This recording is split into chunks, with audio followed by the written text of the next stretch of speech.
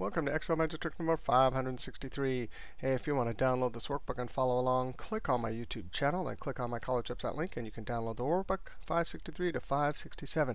Hey, we got to talk about talk about the Workday and the Excel 2010 Workday.international function. Totally awesome and improves our ability to calculate a future date given a certain number of workdays from today.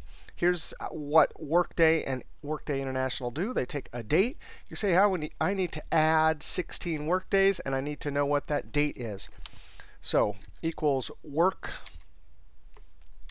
work day. It needs the start date, number of days, and the holidays if there are any. Pretty simple, straightforward. Boom, just like that. It says, hey, 427 will be 16 days in the future. Now, what does this do? This assumes that Saturday and Sunday are the weekend. But a lot of times, um, people have work weeks that don't have Saturday and Sunday. So that's where this new amazing Workday.international equals workday. And there's a new argument. And if you download the workbook, there it is. We're going to put, a, hey, we'll say 7 because our two days off are Friday and Saturday. There's even if you only have a Wednesday or just a Saturday um, or just a Sunday, etc. Many of us work six days a week, so we would use 11 for Sunday. But here, we'll go ahead and use 7 for Friday and